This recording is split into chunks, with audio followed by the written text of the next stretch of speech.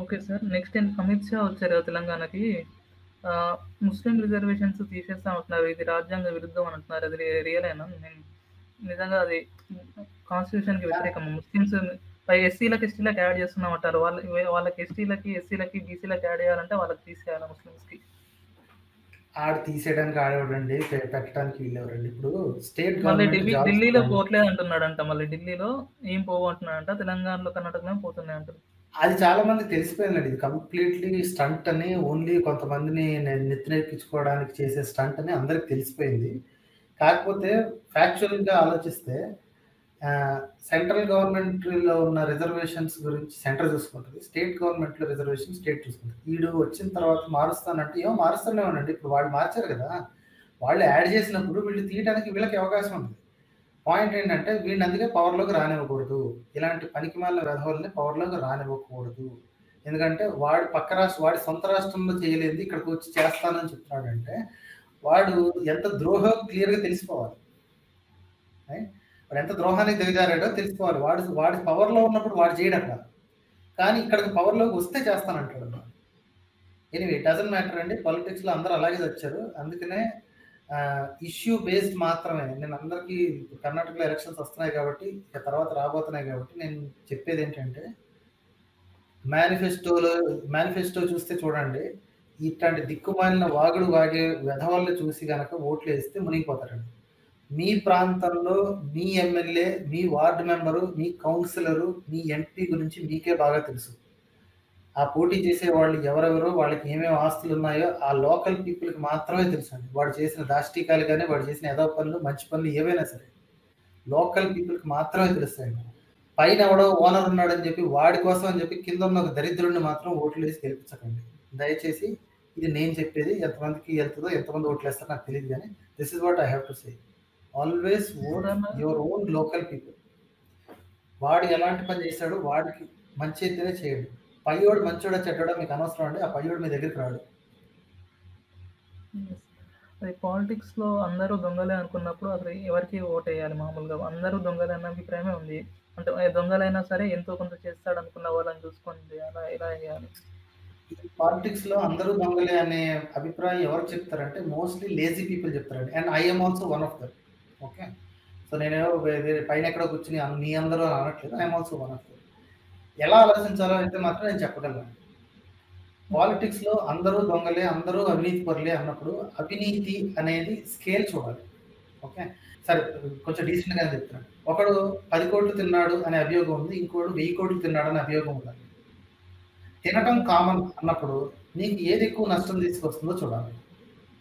Next వీడి మీద అభియో వీడి మీద కేసులు ఉన్నాయి వాడి మీద కేసులు ఉన్నాయి అన్నారు. సో ఆ కేసుల లెవెల్ సుమారుగా ఒకేలాగా ఉన్నాయనుకోండి పెద్దగా ఏం తేడా లేదనుకోండి. అసలు ఆ కేసులు ఉన్నాయన్న సంగతిని మీ మెజర్మెంట్ లిస్ట్ నుంచి తీసేయాలి. నెక్స్ట్ పాలసీస్ వీడు ఒకడేమో అన్ని ఉచితాలు ఇస్తానంటాడు ఇంకోడేమో ఉద్యోగ అవకాశాలు ఇస్తానంటాడు. అనుకోండి okay I'm not saying one is doing అందరూ ఉచితాలు ఇచ్చేస్తున్నారు ఇప్పుడు. ప్రతి దాన్ని ఉచితం ఉచితం అంటున్నారు. సోమరిపోతున్న చేయడానికి. ఒకడు మీకు ఉద్యోగాలు ఇప్పిస్తాను ఇంకోటి అక్కడి నుంచి తెప్పిస్తాను అన్నాడు. ఇంకోటేమో మీకు ఉచితాలు ఇస్తాను ఊరికి ఇంట్లో కూర్చొని బేవర్స్ కూర్చొని నేను తిరిగిస్తాను అన్నాడు అనుకోండి. మీకు ఎవరు కొట్టేస్తాను అనేది చాలా కేర్ఫుల్గా ఉండదు ఈ రోజు నీ ఈ ఐదేళ్ళలో నీ కడుపు నింపుతాడు ఏదో నెలకింతలు ఇస్తాడు. నీ రోడ్డు బాగు ఎందుకంటే ఆ డబ్బులన్నీ దీనికి పెట్టాల్సింది నీ నోట్లో పడేస్తున్నాడు కాబట్టి. నీ ఊరికి చిన్నమైన సౌకర్యాలు ఉండవు. కరెంటు పోతే అడగడానికి దిక్కు లేదు. లోడ్ షెడ్డింగ్లు ఇవన్నీ చేయించావారు ఇష్టం వచ్చినట్టు చేసి పారేస్తారు. ఇంకేం అడగడానికి ఉండదు. సో తర్వాత రాబోయే ఉద్యోగాలు నీకు బెటరా? ఈ రోజు నీ నోట్లో బిర్యానీ బెటరా? ఇది ఆలోచించుకుని చేయాలి.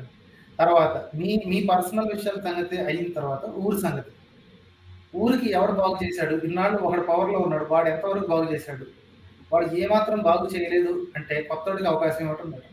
వాడు బాగానే చేశాడు. ఇంతకంటే బాగా చేస్తాడని పక్కనోడు గ్యారంటీ ఇస్తున్నాడు అంటే ట్రై చేయొచ్చు. లేదు వాడు వీళ్ళు తిట్టుకోవడానికి వరకు మాత్రమే ఉన్నాడు అంటే ఆల్రెడీ ఇప్పుడు కాస్త మంచి చేసినోడే మళ్ళీ మంచి చేస్తాడని చెప్పి వాడు కొట్టించు these are the ways to think about it మనోడికి మతం కులం ఇంకోటి వెరైటీ ఈ మూడు కావాల్సి వచ్చాయి. కష్టపడి పని చేస్తున్న వాళ్ళని కూడా మాకు వెరైటీ కావాలి రాబాయ్ వీడు ఇంత ఇస్తున్నాడు ఆడు ఇంకెంత ఇస్తాడు అని చెప్పేసి కొత్త ఏదో ఓటేస్తారు. వాడు మొత్తం ఐదేళ్ళు సంక్రాంతి చేస్తారు ఎవరికి వాళ్ళే బెనిఫిట్స్ని మెజర్ చేసుకోవాలండి. నాకు నా ఊరికి నా కుటుంబానికి నా నా ప్రాంతానికి ఎవరు బాగా చేస్తాడు? ఎవరు బాగా చేసే అవకాశం ఉంది? రైట్?